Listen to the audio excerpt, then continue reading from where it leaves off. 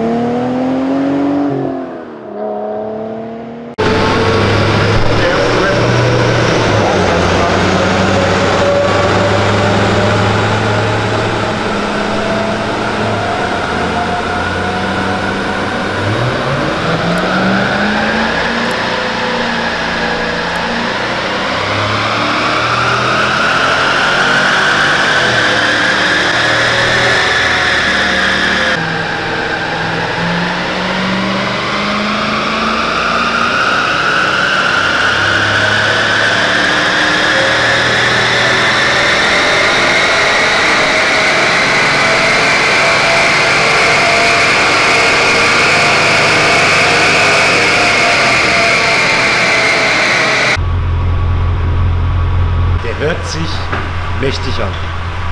Also so vom Hören her, wie er sich bewegt. Also die 3 steht auf jeden Fall vor.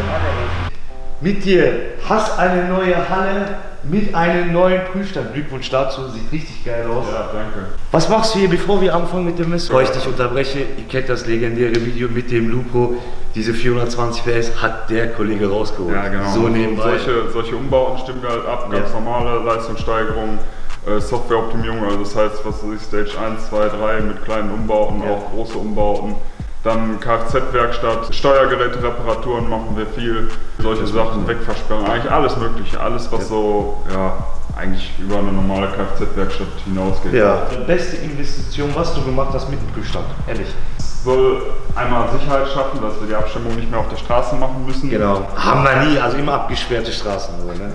Ja, logisch. Ja, natürlich. Also wir haben immer, das war immer zu aufwendig, die Straßen abzusperren Ja, und genau. abzustimmen und so weiter. Ich habe ja ein paar Mal mitgemacht. So. Macht natürlich auch Spaß, ja. Ich denke, aus dem Grund sind wir wahrscheinlich auch heute hier, um uns den Spaß zu erlauben, den ML mal zu messen. ML 55 AMG mit einer Serienleistung von 347 PS und 510 Newton. Aber hier muss ich noch mal sagen, schöne Grüße an Mohamed, wo ich das Auto gekauft habe, hat der Mohamed zu mir gesagt, es ist auf 380 oder 90 PS, muss ich noch mal genau schauen. Das ist Hammer.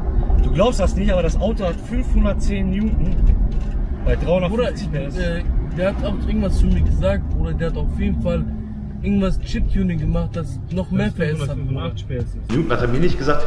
Der wurde angeblich einmal komplett Softwareoptimierung gemacht. Das, was du auch machst. Ne? Okay. Mit dir. Ich weiß, ist das realistisch bei 5,5 Liter 350 auf 390 PS rausholen kann? Weil du kennst dich da besser aus.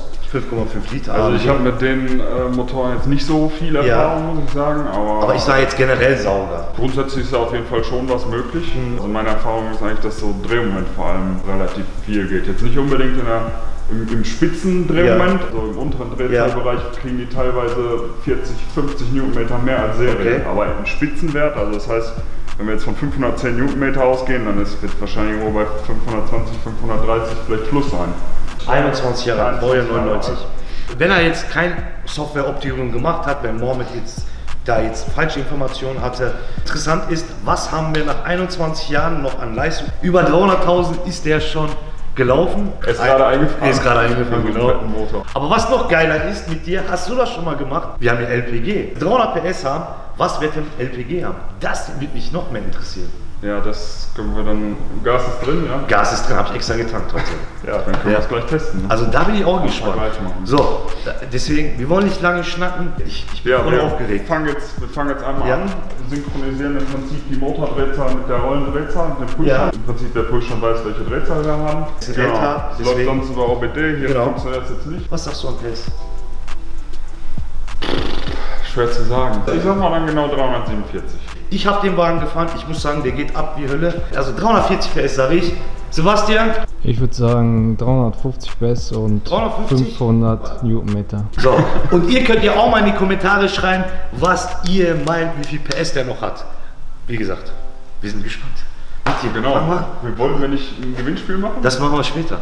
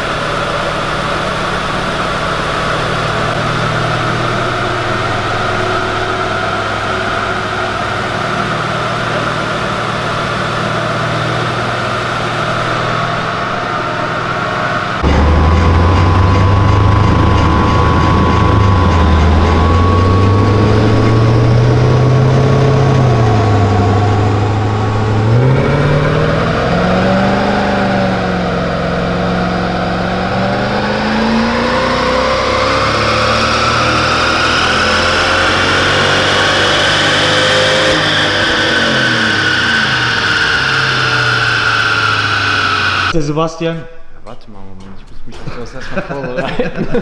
wie läuft das jetzt? Ganz kurz, für die Leute, die das nicht kennen. Ganz easy. Wir haben jetzt aufgespannt. Ja. Jetzt wird gleich die Motordrehzahl mit der Pushstandsdrehzahl synchronisiert, also Ja. das Drehzahlverhältnis hat, um die Leistung am Ende richtig errechnen zu können. Das machen wir jetzt als erstes.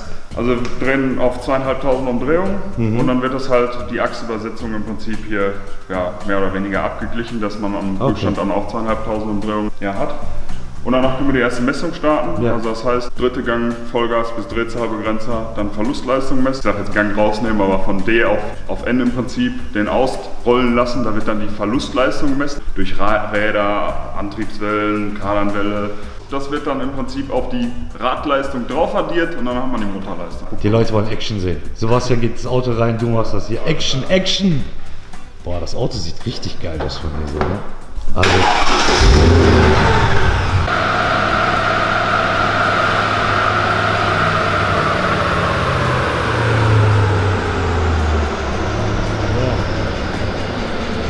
Jetzt haben wir im Prinzip schon dieses Drehzahlverhältnis hier rausgefahren.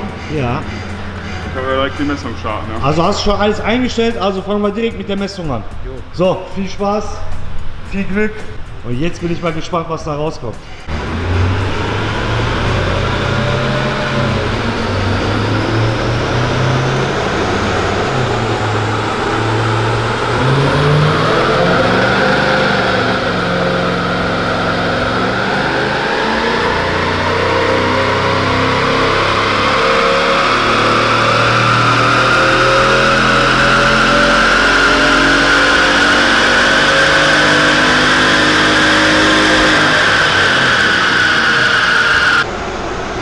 Hier, ne? Ja, Da stimmt irgendwas nicht. Der hat in der, in der aber ich glaube, der, ist, er der läuft auch nicht gerade gut. Gerade hat er sich ganz anders Ja, ja, der läuft gerade nicht gut. Ich glaube, wir sind im Notlauf. Ja, jetzt läuft er wieder normal. Okay, erste Messung fehlgeschlagen. Ja, weil wir. Dass der hier richtig eingebrochen ist und ja, hier gegen. Also was war die erste. Messung jetzt? Spitzenwert 248 PS, 520 Newtonmeter. 248 PS, 520. Also bevor der aber bestimmt in den Notlauf gekommen Ja, ist. wobei, Ne? ja genau. Genau, Okay. so in der Mitte der Messung man, konnte man das auch hören, ne, dass er Ja, ja. Gut, dann machen wir mal die zweite Messung und dann schauen wir mal.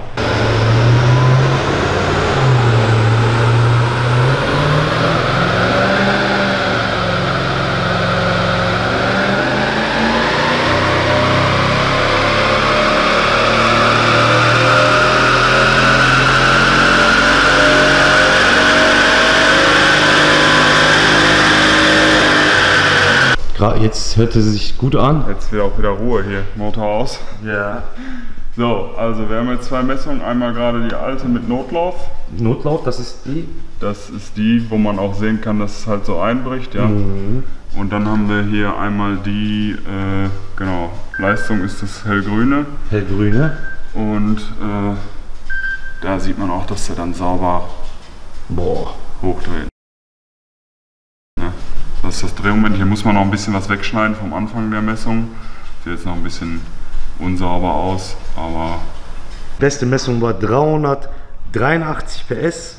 Also 548 Newton hat dieses Auto noch nach 21 Jahren über 300.000 gelaufen. Krass. Wir haben ja noch die LPG-Anlage und jetzt wollen wir sehen, was der mit der LPG-Anlage an Leistung hat. Das ist doch interessant, oder nicht? Mit Ja, auf jeden Fall. Hast du das schon gemacht? Ich habe ja LPGs früher eingebaut und man sagt ja immer 20% weniger Leistung. Wir werden jetzt mal sehen, ob das auch stimmt. Bevor wir das machen, schreibt mal unter den Kommentaren, was ihr denkt, wie viel PS der mit LPG haben wird. Mit Benzin wissen wir jetzt auch, wenn es noch einer sehen will hier, ne? 383 PS. Der Gewinner, der am nähersten dran ist, Ja. drei Leute kriegen von mit dir Zustand. Ja, Lauf. Prüfstandslauf. Egal, ob ihr einen Fiat habt, ob ihr einen Smart habt, Soll vielleicht nur nicht ultra tief sein. Dann ja, verlosen wir drei Stück und ich bin auch dabei und wir machen ein Video, ist ja klar. Und so nebenbei, Mitya hat auch einen YouTube-Kanal, den ihr auch abonnieren könnt, ist unten verlinkt. Da geht es auch bald weiter. Das war jetzt nur wegen Umbau und so Ja. weiter ein bisschen schleppend. Wegen der Halle, aber ich muss sagen, die Halle ist richtig geil geworden. Ehrlich, Glückwunsch nochmal mit dir. Dankeschön für die. Also du hast, also ich habe mit allen gerechnet, Aber ich hätte nicht erwartet, dass wir ehrlich 380 PS haben. Das heißt, das Auto ist jetzt ein bisschen wertvoller geworden, so nebenbei. Ja. Was wird denn LPG haben? Sebastian, Dankeschön nochmal. Ein Ghetto-Faust an dich und Dankeschön auch. Wir sehen uns beim nächsten Mal. Euer Kfz tut sich bis dann. Haut rein. Ciao. Geil, und ich fahre damit nach Hause.